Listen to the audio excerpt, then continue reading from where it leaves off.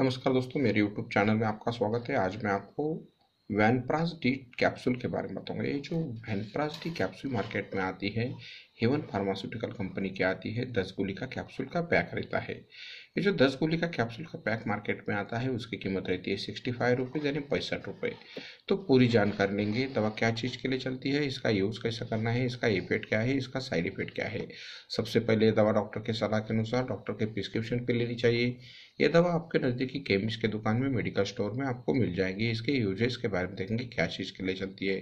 तो ये जो one plus D capsule market में आती है मेनली अगर आपको नौसिया एंड वोमिटिंग की शिकायत है तो उससे छुटकारा पाने के लिए दवा दी जाती है।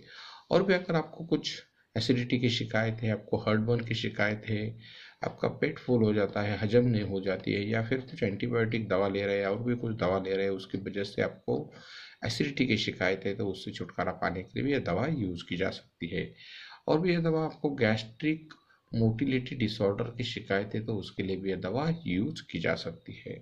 तो बढ़िया कॉम्बिनेशन है, आपको जो एसिडिटी की शिकायत है, आपका पेट फुल हो जाता है, खाना हजम नहीं होता है, गैस हो जाता है हर्टबर्न हो जाता है, छाती में जलन हो जाती है, उल्टी जैसा होता है बार बार उल्टी होती है नौसिया एंड वोमिटिंग तो उससे छुटकारा पाने के लिए दवा यूज़ की जा सकती है। इसके कंटेंट के बारे में देखेंगे, क्या कंटेंट कंपनी ने इसके अंदर डाले हैं।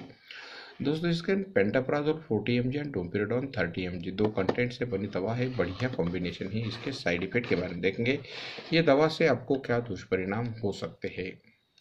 दोस्तों, ये दवा की वजह से आपको स्किन रैश आ सकते हैं डिफ़िकल्टी इन ब्रीथिंग हो सकती है कन्वर्जन हो सकता है।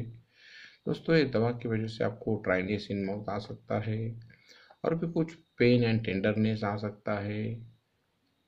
और भी कुछ साइड इफ़ेक्ट रिएक्शन एलर्जी आपको नज़र आती है तो आपके नज़दीकी डॉक्टर से आप मुलाकात कर सकते हैं। इसके डोसेस के बारे में देखेंगे कैसा लेना है, कैसा यूज़ करना है जनरली इसको two time in a day इसको खाने से पहले यानी एम टी स्टमक लिया तो अच्छे रिज़ल्ट पाए जाते हैं।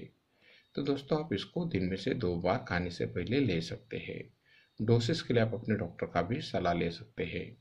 ऐसे ही आने वाले बहुत से प्रोडक्ट के बारे में मैं आपको जानकारी देते रहूँगा। इसलिए आप मेरे चैनल को लाइक कीजिए शेयर कीजिए। Please subscribe my channel thank you for watching my video